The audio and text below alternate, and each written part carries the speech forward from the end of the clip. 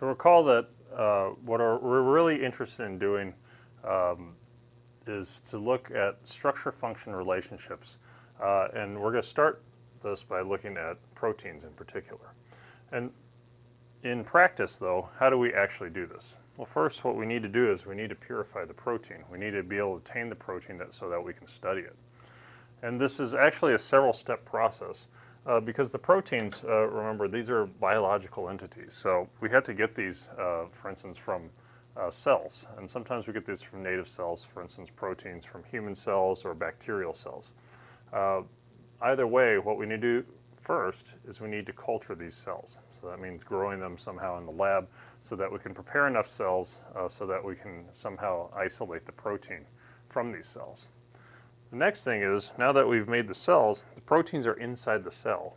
Uh, they're encapsulated within the cell in some way. So we had to break the proteins out. So this is called lysis. And we can do that by a variety of ways, such as using um, sound waves, uh, strong pulses of sound waves to lyse the cells, uh, or chemical means, or we can use pressure.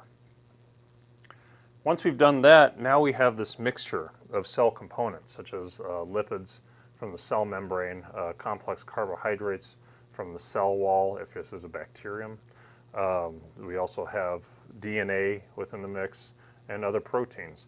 And so the first thing we usually do is we try to separate out uh, the soluble fraction from the insoluble fraction.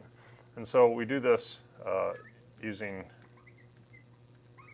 a centrifuge, which spins very fast. Um, and what we do is when we put test tubes inside the centrifuge, what we get are two fractions. So we get an insoluble fraction that we call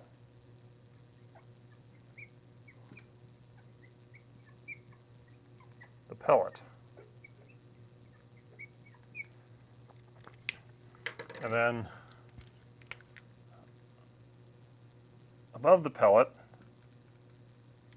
we get a soluble fraction. Whoops.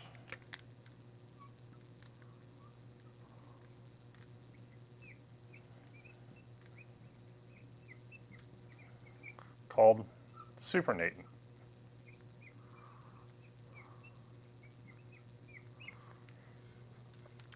And so depending on what type of protein we're looking at, so let's say we're looking for a protein in the soluble fraction, we'll keep either keep the supernatant or keep the pellet.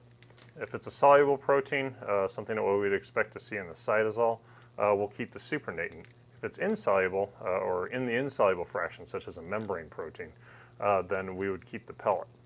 Uh, but after we uh, clear out whether the cell debris, um, we now uh, have to purify our protein from other proteins uh, that are within the cell.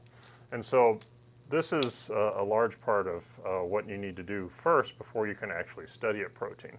And when I say purify, what I mean is you need to isolate uh, the protein from other proteins. So for instance, in the slide on the right-hand side, uh, we have uh, what looks like the soluble fraction, and there is a mixture of proteins, and they're uh, colored either red, green, or yellow uh, in this in this figure. So let's say our target protein is the green protein. And so what we need to do then to get after the green protein is we need to purify all the proteins out. And we do this by collecting fractions into test tubes. And we'll get over, uh, we'll, we'll, talk uh, very shortly uh, about how you're able to separate these proteins like this.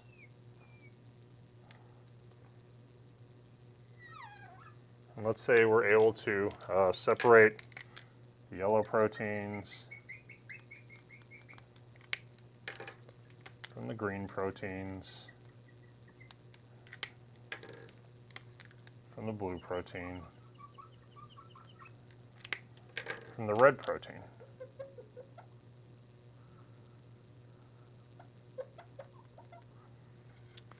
And then, again, if we're looking to purify the green protein so we can study it, then this is the fraction we want.